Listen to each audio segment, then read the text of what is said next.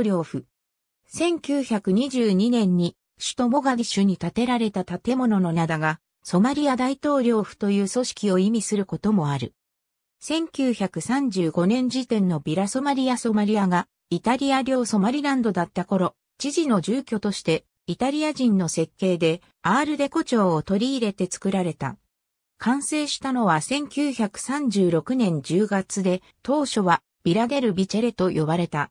首都モガディシュを見下ろせる高台に作られ、ペトレラ空港とモガディシュ港へのアクセスを考慮して場所が選ばれた。壁がスタッコの建物だった。1960年にソマリアが独立すると大統領官邸となった。クーデターで第三代大統領となったモハメド・シアド・バーレが建物を増築した。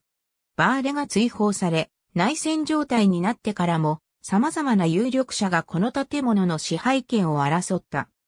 まず、バーレを追放した統一ソマリ会議が支配するが、統一ソマリ会議が分裂すると、武官トップのアイディードが、文官トップのアリを追放して官邸に入り、大統領就任を宣言した。アイディードが暗殺されると息子のフセインが大統領就任を宣言して官邸としたが、2006年にイスラーム過激団体のイスラム法廷会議がモガディシュを含むソマリア南部を支配して、この建物を本拠とした。2006年の後半に暫定連邦政府がイスラム法廷会議からモガディシュを奪い返した。